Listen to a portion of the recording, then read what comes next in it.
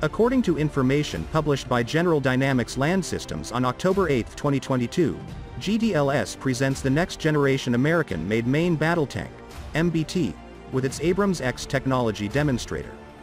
The General Dynamics Land Systems Abrams X technology demonstrator will be unveiled during the ASA 2022, Association of United States Army Defense exhibition that will take place in Washington, D.C. from 10 to the 12th of October 2022.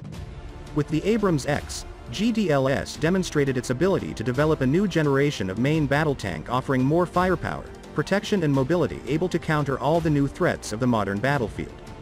As the next generation of main battle tank, the Abrams X technology demonstrator features reduced weight for improved mobility and transportability, delivering the same tactical range as the M1A2 Abrams with 50% less fuel consumption.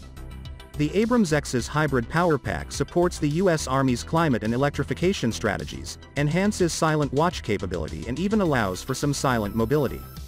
With a reduced crew size and AI-enabled lethality, survivability, mobility, manned, unmanned teaming, MUM-T, and autonomous capabilities, Abrams X can be a key node in lethal battlefield networks and serve as a bridge from Abrams SEPV-3 and SEPV-4 to future tank. The Abrams X is completely based on a new design compared to the M1A2 Abrams tank family. In terms of protection, the Abrams X is fitted with a new armor package mounted on the hull and the turret.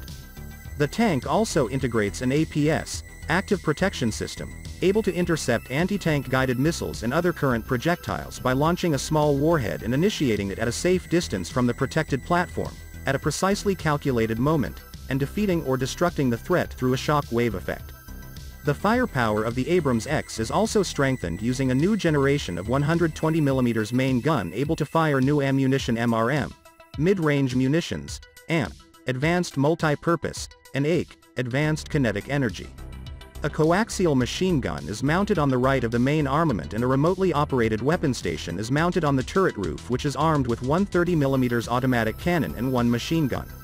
According to GDLS, the Abrams X will function as a key node in lethal battlefield networks, and serve as a bridge between the currently fielded Abrams SEPV-3 and the recently unveiled SEPV-4 iteration to some sort of future tank, whatever that might look like.